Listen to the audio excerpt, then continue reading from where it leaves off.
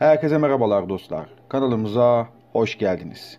Avrasya Araştırma Başkanı tarafından bir Cumhurbaşkanlığı seçim anketi açıklandı. Ankette Cumhurbaşkanı Recep Tayyip Erdoğan, Ekrem İmamoğlu, Mansur Yavaş gibi isimlerin yer aldığı aktarılırken Avrasya Araştırma Başkanı Kemal Özkıras, Cumhurbaşkanlığı seçim araştırmasının sonuçlarını açıkladı. İlk turda sadece Recep Tayyip Erdoğan ile Ekrem İmamoğlu yarışıyor olsa hangisine oy verirsiniz sorusuna İmamoğlu yanıtını verenlerin %45.5 olduğu, Erdoğan'a oy vereceğini açıklayanların ise %40.4'te kaldığı aktarıldı. Avrasya Araştırma Başkanı Kemal Özkıras, Cumhurbaşkanlığı seçimi araştırma sonuçlarını açıkladı. Yaptığı açıklamada Erdoğan tekrar aday olsa oy verir misiniz sorusuna yurttaşların %46.9'u hayır oy vermem, %39.2'si evet oy veririm, %14.9'u ise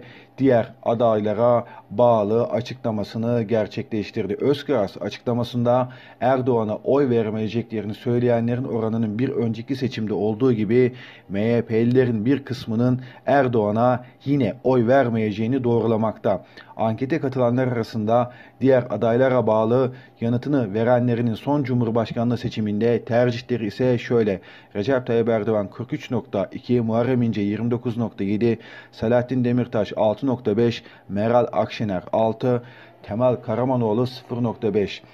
Olası Cumhurbaşkanlığı seçiminde Cumhurbaşkanı Recep Tayyip Erdoğan tekrar aday olsa oy verir misin sorusuna diğer adaylara bağlı olaraktan çıkan sonuç ise 14.1 olaraktan açıklanmış durumda. Avrasya Araştırma Başkanı tarafından yapılan